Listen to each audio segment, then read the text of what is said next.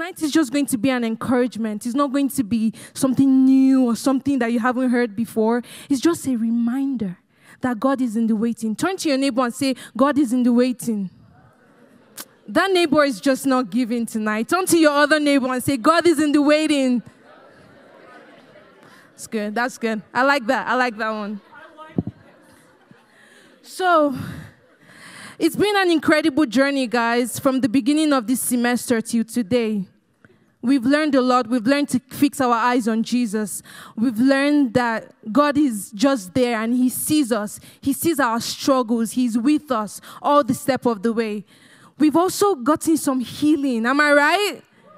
Man, some deep healing, man. Uh, every every Tuesday, I'm just like pff, crying. My eyes are red. I'm having a headache at the end because my life is changing and getting better every week, and it's been incredible. And then the revival broke out in Kentucky, and gosh, that was incredible. And tonight, I just want to remind you guys again that God is in the waiting.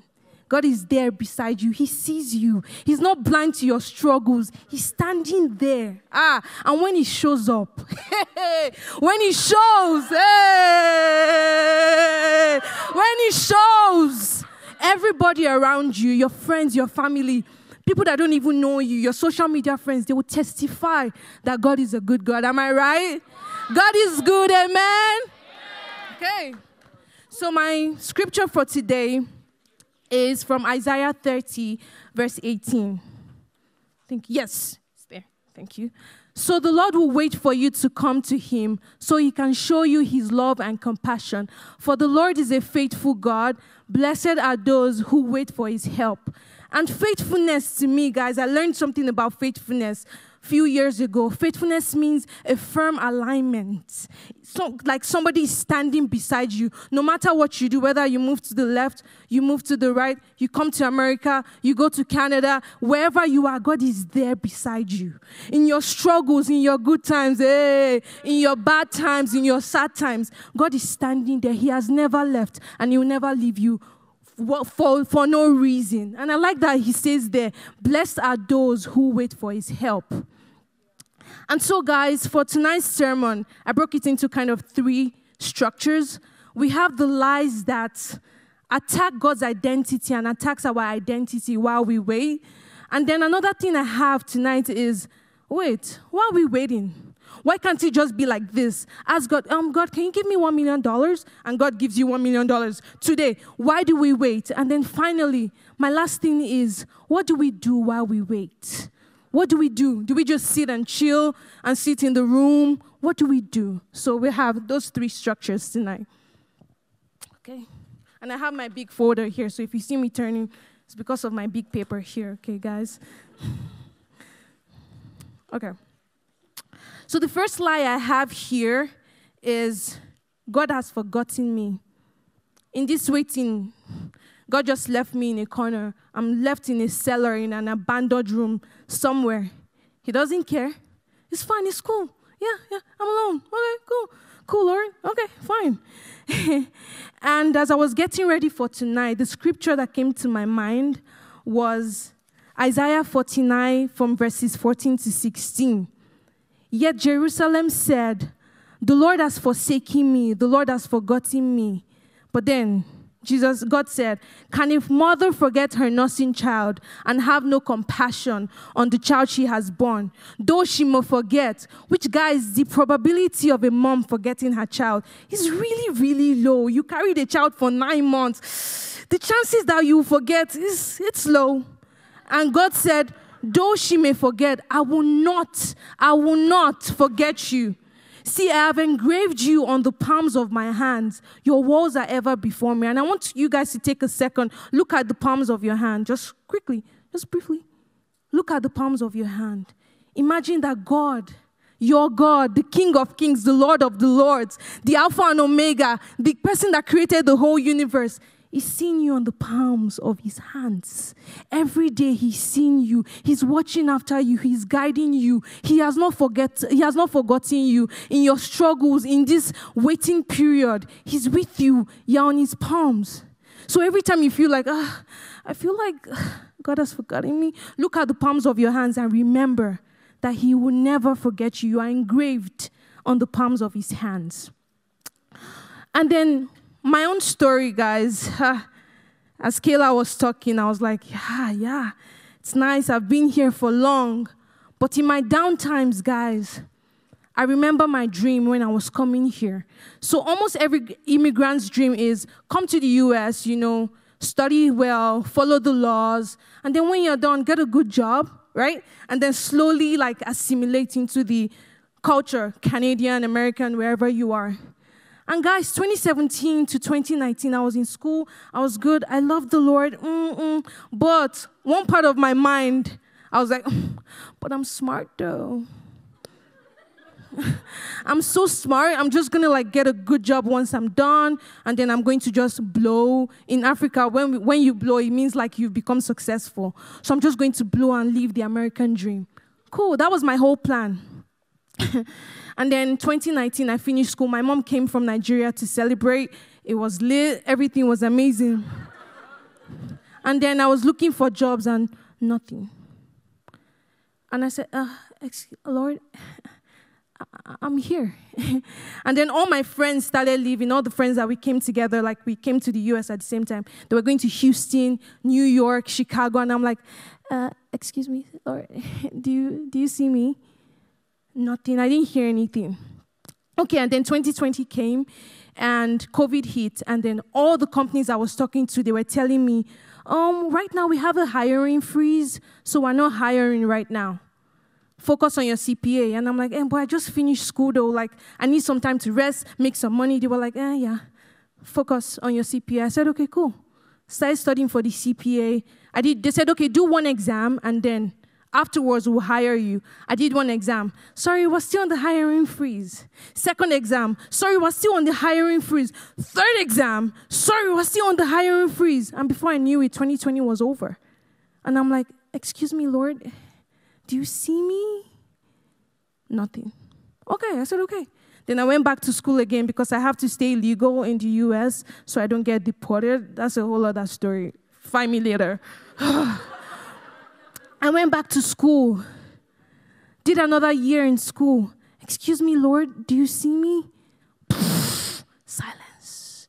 Dead silence. I'm like, okay. 2022 came. Same thing. Okay, I'm still in school. God, okay, okay, let's go, let's go. Nothing. Until one day, guys, and I'll get to that later. But the silence broke my heart. And I can keep it coded, guys. You guys know um, I can bring the vibe, I can bring the energy, I can bring the ginger. But deep down, there were months where I struggled so much, guys. There were months where, one, one, one of the times Carrie was there, I just stood in church. I was just standing, looking. Everybody was singing, worshiping. Oh, God, you're amazing. And I'm just there, like, another day. Okay. And Carrie was like, Are you okay? I'm like, Carrie, if I start talking, I'm just going to start bawling. I'm just going to start crying because I feel like God has forgotten me. But we'll get to that. We'll get to that later. Okay, so the second lie that I have here is I'm alone and no one can understand my struggles. Nobody can relate to my pain. The person sitting beside me, my fusion leader, the staff, Mikey, Carrie, Sydney, everybody around me, nobody can relate to what I'm going through. And for me, guys, it's even crazy because I feel like I'm older. Everybody here is 22, 21, most of them are Americans. Can anybody really relate to my struggle? I just feel like I'm alone in Canyon, in the panhandle. No one gets it. And then, guys, I realized, I started studying the scriptures more and more. And I know a lot of you guys would, testify to what I'm saying that in almost every chapter of the Bible, God reminds us that He's with us. One random day, guys, random, random. I, I, I stumbled upon Haggai. How many people have read Haggai in this room? Not that many. It was just a random, random day. And then it was Haggai 1, verses 13. I don't have it on the PowerPoint slides. And then he still says, I'm with you. And I'm like, ah, God, even in Haggai, you're reminding me? Okay. in Joshua, he tells, Don't be afraid, don't be discouraged. I'm with you, I'm by your side. In the depths of of the waters. When you pass through the waters, I'm with you. We have that song. When I go through the waters, hey, I not be scared. Hey, my God, okay. So when you pass through the rivers, they will not sweep over you. When you walk through the fire, you will not be burned. The flames will not set you ablaze. Why? Because I'm with you. I'm on your case. I'm standing beside you. I'm not moving. I'm steady. I'm steady on your matter. So I just want to remind you guys tonight that you're not alone. God understands your struggles. He understands the trials that you are facing. And He has blessed you with people around you, your fusion team, the staff, your friends, to remind you that chill, baby girl. Chill, bro. I'm with you. I'm on your side. And I've blessed you with all those people that can help you. Okay. Okay, so I'm coming to my favorite one. Ooh. Maybe this case or this request that I have to for God is too big or too small for him. I don't want to disturb God with my matter. It's too small. Or how I like to do it, I'm like, okay, God, I need a job. But Father, if you consider the the economic factors, Lord, the political factors, if you look at the socio-economic factors, I don't think this will work out for me. But I'm laying it at the altar and then I'm telling him, oh God, I don't think you can do it though. And then one day, I'd, I'd done that over and over and over and over again, guys. And then one fateful day, he was like, Okay, Tolu, you're talking to me about socioeconomic factors? And I'm like, Yes, but, but God, if you look at it critically, if you analyze it from this corner, and he's like, Really? and I'm like, Yes, God, but if you just. And he's like, Girl, do you know who I am? Guys, I was silent, and I'm never silent when I pray. Never, never, never. He's like, Tolu, do you remember who I am? And I'm asking you guys, do you remember who God is? Do you know who you serve? Hey, He's the King of Kings, the Lord of Lords, the Alpha and Omega, the beginning and the end, the one who was in the olden days, in the Bible times, in the Old Testament, the one who is and the one who is to come. Hey, He is too good. He's too kind. He's the creator of the universe, the one that made all the planets, the one that made you specifically. He knows the hair on your head. I don't even know the hair, all the braids on my hair. I can't even count it, but He knows it. He sees everything, and He's the God that you are serving. So, what is too big for Him? What is socio-economic factors to your God? What is inflation and political instability to the King of Kings? Nothing is too small, nothing is too big for him. And tonight, guys, and for the rest of your life, for the rest of this semester, I want you to remember the kind of God that you serve. He's on your case. He's your God. He's your champion. He's your father. He's your help. He's your strength. Hey. And that's the kind of God that loves you. I just want you to remember tonight. So when you start giving God and start analyzing for Him, just remember the kind of God that you serve. Okay. I'm scrolling through my pages. Okay, okay. Okay, so number four.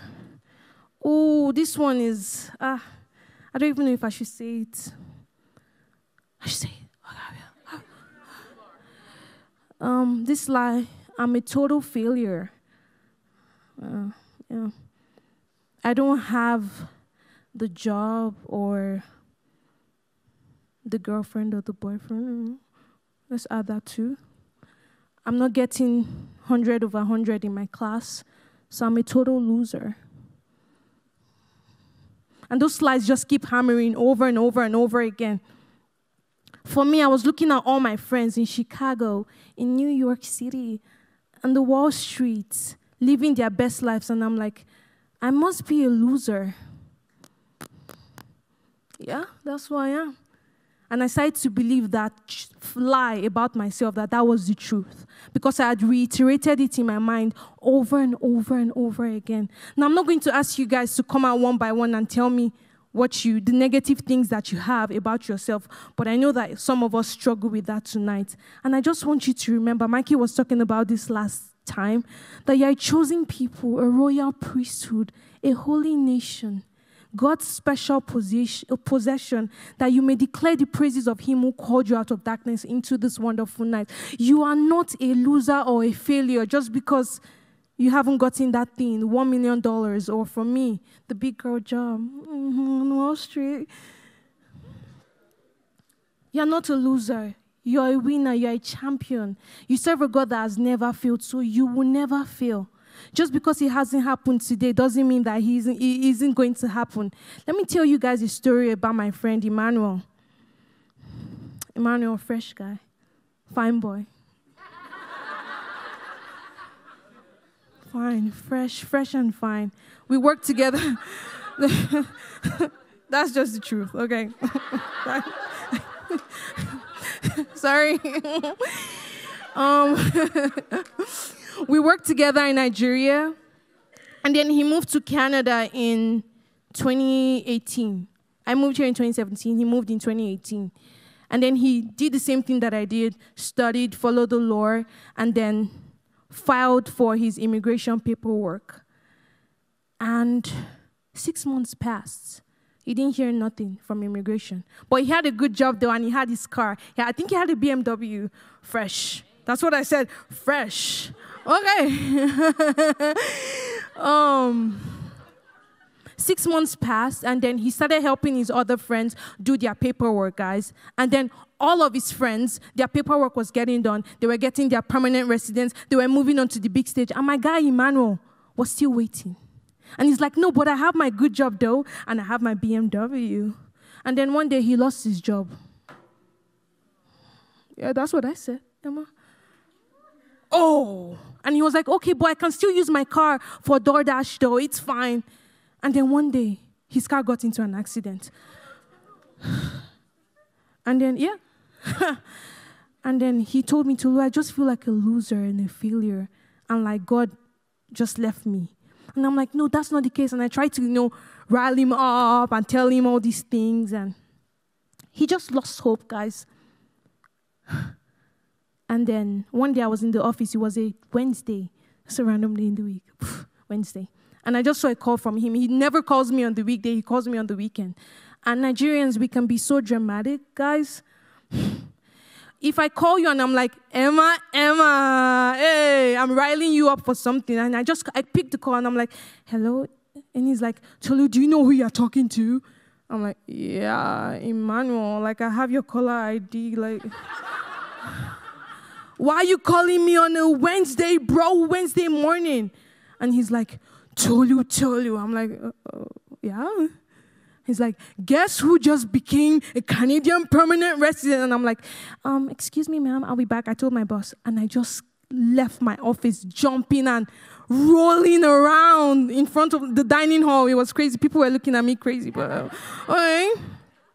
And he was like, Tolu, so I just went to the laundromat to do my laundry and I was just playing music and I just got an email and I saw that I got my paperwork done.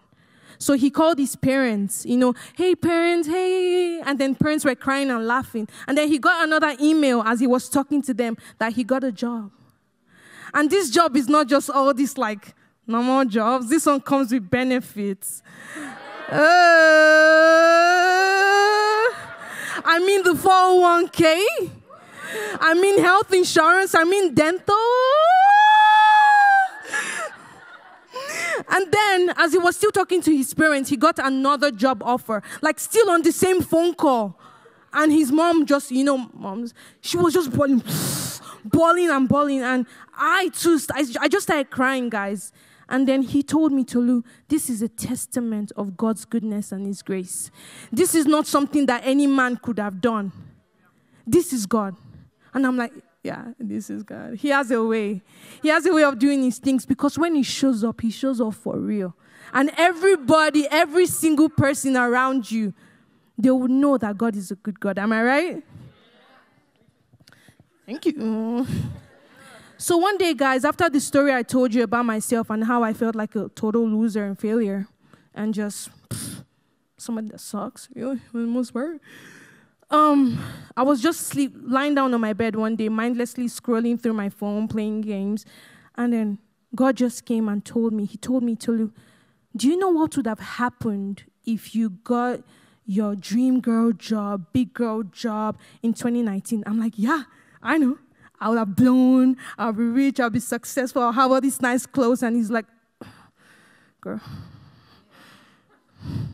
if that happened to you, you would have become somebody that was a shallow Christian with no substance. And I'm like, me? shallow with no substance? And he's like, yes. Because if that happened to you when you wanted it to happen, you would have felt that it was all about you. It was what you had. It's just you. You say, Oh, thank you, God. But deep down, we all know what you would have thought. That God, I'm just so smart. Thank you for the grace to be super smart, though. But it's all on me. You didn't do anything. And I'm like, okay, thank you, God, for that testimony because I needed to hear that. That I'm not wasting my time that I'm not just here in Canyon as a loser. Every day that I'm here, my life is changing.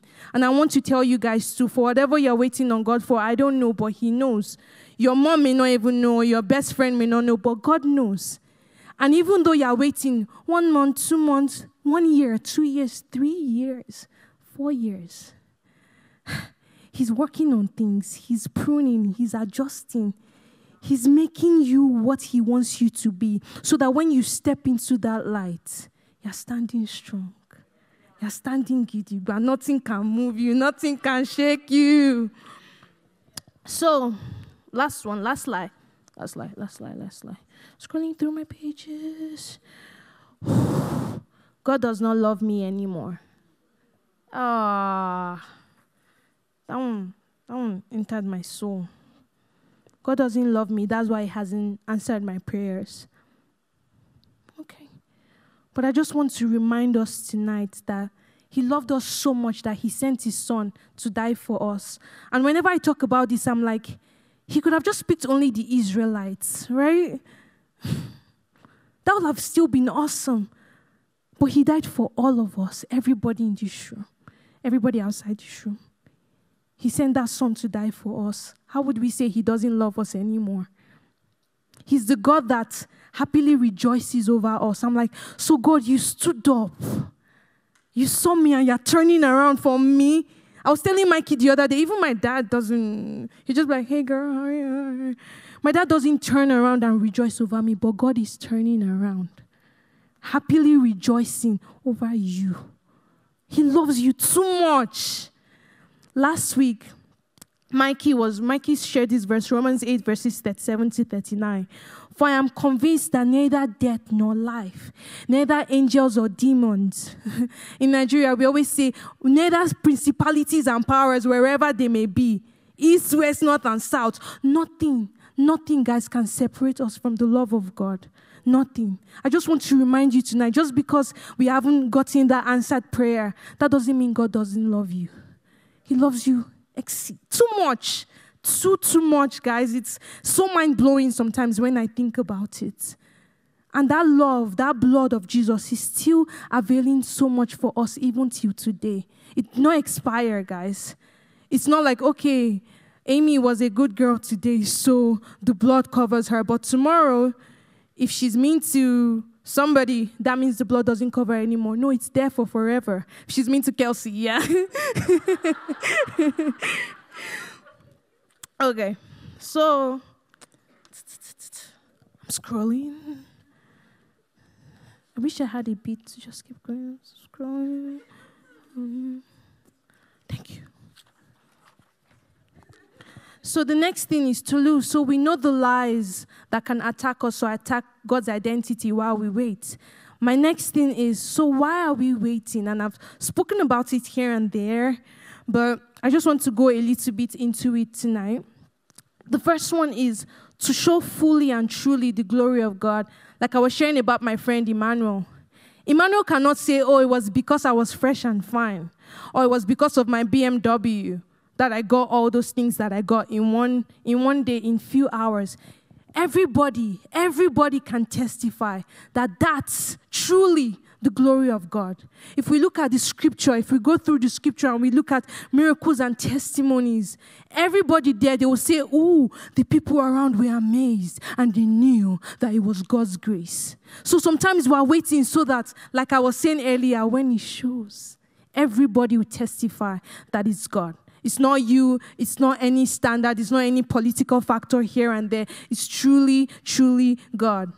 The next thing, maybe so that He can grow, uh, so that you can grow and flourish in your Christian journey.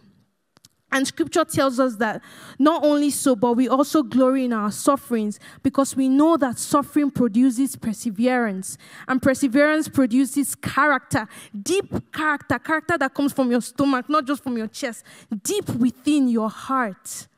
And that character produces hope, and that hope will not put you to shame because God's love has been poured into your heart. In that waiting, Ooh, you would know deep down that even though I'm waiting, God still loves me, God still cares. And, uh, okay, I found my spot. Okay. Poured into our hearts through the Holy Spirit who has been given to us, also so that we can be strong and well prepared for the next trial that we may face. Because this Christian journey, it's sweet, it's very, very sweet, but we'll also go through trials. Am I right?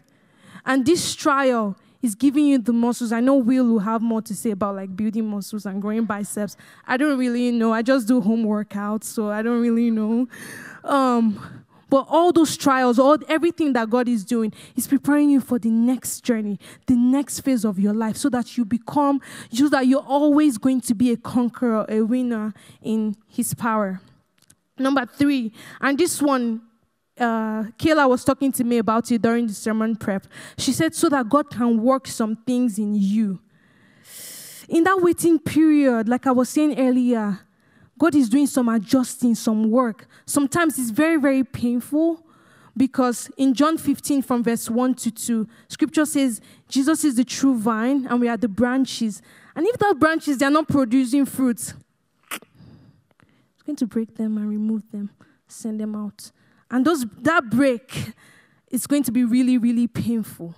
But he's doing all those things not for just for fun, to make you hurt, to make you suffer, but just so that you're growing. He's working things in your spirit and in your soul. Number four is so that you can put your total trust in Him and not rely on yourself, rely on your abilities. Like I was saying, okay, because I have a master's from the US, I must work in Wall Street. I must. That's it's, it's A plus B must equal to C. And I was putting all my trust in myself. Even though superficially I was saying, Thank you, God. Deep down, I, I was thinking, It's all about me. Um, last time when we were talking about, Mikey was talking about scriptures, he said that the pool, the Bethsaida pool. Everybody was waiting for the pool to get stirred so that they can be the first person to dip their legs or dip their body into it. But in that waiting period, God would remove all those external factors that you have so that you can put your total trust, put your eyes on Him because He's all that matters. Proverbs 3 from verse 5 to 6 for people like me that sometimes place their trust on themselves tells us that trust in the Lord and lean not on your own understanding. In all your ways, submit to Him, and He will make your path straight. Like I said, we already know all of this, but today is just a reminder for us to trust in God. And also, First Corinthians 1 from verse 19 to 20 tells us that I will destroy the wisdom of the wise, the intelligence of the intelligent, I will frustrate. Has God not made foolish the wisdom of the world? And then, lastly, on why do we wait? The last one I have here is so that you can become a beacon of strength and encouragement for people around you. Because you've gone through that waiting period. When you see somebody else, your friend, your sister, a new person that came for two posts of fusion, you can encourage them and remind them and tell them of how God has moved in your life. And your story might be something that encourages. Oh, okay, okay. Your story may be one that just gives them that. I was saying earlier in Nigeria, we say that ginger to stand up again. Is that me? Was that me? that ginger to stand up again and place their renewed hope in Him. Like I said, we all go through scriptures, but imagine if I'm here crying and Nayeli pulls me aside and says, Tolu, this is how God moved in me. He's coming for you ah, guys, I'll, I'll be like, okay, okay. He did it for Nayeli, okay. He'll do it for me, okay. I'm, I'm good. It's not, okay, we have people in the Bible that he did it for, but he did it for Will. And I saw him move in Will's life. He's coming. Let me chill. God is coming for me. He did it for Carrie, so He will do it for me. And that would give you sometimes that motivation, that inspiration to go again. Okay, so the last section. Um, okay, so what to do while we wait? What do we do? So we've learned tonight the lies that the enemy could use to attack us and attack God's identity. We've learned why we wait. And then finally, what do we do while we wait? The first thing I have here is to ask God and to trust Him. Even though you asked God yesterday, I was telling Mikey, even if you asked God yesterday, if it's still in your mind, I tell my friends sometimes, oh, I feel like there's some junk in my chest. Like, I feel like I'm a recycle bin right now. If you have that feeling like, oh, I still have some doubt, I asked God yesterday. I went to the prayer room and I prayed, but there's still some things in your mind, some doubts, some things that you're not letting go. Ask God again. Lay it at his feet again. God, I didn't finish yesterday. I gave you 80%. It's remaining 20%. This is the 20%. And that's may, that may be just for that day. Tomorrow, if you're back again to 60%, guess what? Ask God again and trust Him. Scripture tells us to ask, ask, ask. Because, oh, I just lost my train of thought. It just went out the door. Okay. okay, I think I'm back. God is able to do exceedingly and abundantly above all we can ask, think, or even imagine. And I'm like, even in my imaginations, okay, God, thank you. Thank you, God. So I really want to encourage you tonight. I know you have prayed for it yesterday. I know you probably prayed for it before two posts. But I, I want to encourage you again. Ask God and trust it to Him. Ryan taught us something during the last retreat. He said, Sometimes all you just need to do is open your arms and say, God, take it all. Take this burden off my back. I was telling John the other day that for two or three years, I felt like I've carried a 20 lb dumbbell on my back. I did not sleep well. I wasn't eating well because I would give God 70% of my requests and be like, You can't handle it, God, or it's too small. I don't want to bother you. And finally, guys, recently I felt like that dumbbell was lifted off my back. And it feels good. I feel like I can do some squat jumps right here. But with the 20 lb dumbbell was weighing me down. I felt like I couldn't move. And I just want you tonight and for going forward, going forward, to ask God and give Him the 100% and trust that He's able, He's capable to take care of it. Secondly, I want you to praise God even as you're waiting. Don't just be like, until uh, I've asked God, and um, I'm just gonna like sulk at the back and wait. And then when He finally does it, then I'll praise. Even in the waiting, guys, I want you to praise God. As I was getting ready for tonight, I remembered this story of, and I mean, spoil the name. I'm sorry, guys. Sorry. Jehoshaphat. Jehoshaphat um, they were they were fighting one of the ites. I'm not sure if it's the Ammonites or the Moab, one of the ites. Okay, guys, there's so many Hittites, but I, I don't know. And they prayed, and God said, um, guys, put your praise team in front of the battle. And I saw it, I'm like, sir, these ites are probably like tough, too tough. I should put the praise team guys in front. Are you sure? And God was like, Yeah, yeah, put those in front. And everybody come dancing, yeah. come moving, come shaking, yeah. because I'm going to fight your battle for you. So, in that waiting period, in that downtime, when you feel like you haven't blown, you haven't gotten to where you want to be, I want you to praise God with all of your mind, with all of your chest, because He's fighting. And He has, pro- he has already even fought all your battles. It's just that His time is not your time you may be like, ah, God, can you help me? Can you provide the $1 million in like a day? And he's like, I don't think you're ready for that. Let's do some work, but it, wait, and praise me in the, in, the, in the waiting. Thirdly, I have here discuss with your friends and seek prayers. So, a few weeks ago, when Will was talking, he showed us the chosen video. And those friends, bless you, bless you. Those friends carried their paralyzed friend and they broke the roof and put that friend down to Jesus. That friend could not have done it on his own, honestly, guys. He was way back there. There's no way. There was no way.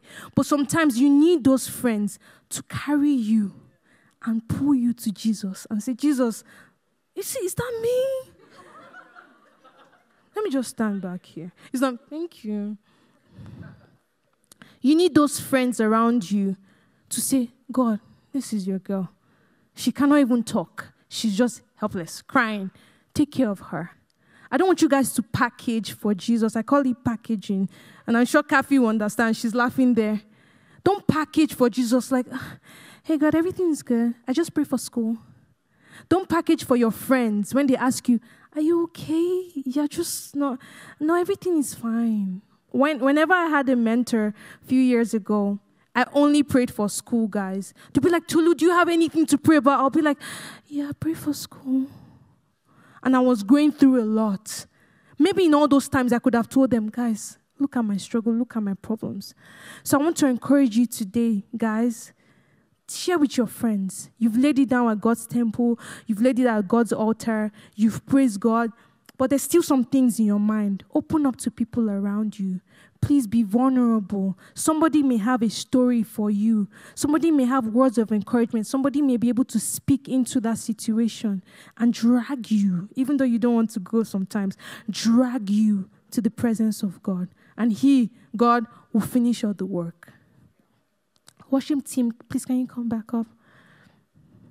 And then lastly, guys, when you're when you blow, when you finally blow, when you hit that jackpot, I want you to be willing to share your testimonies with people around you.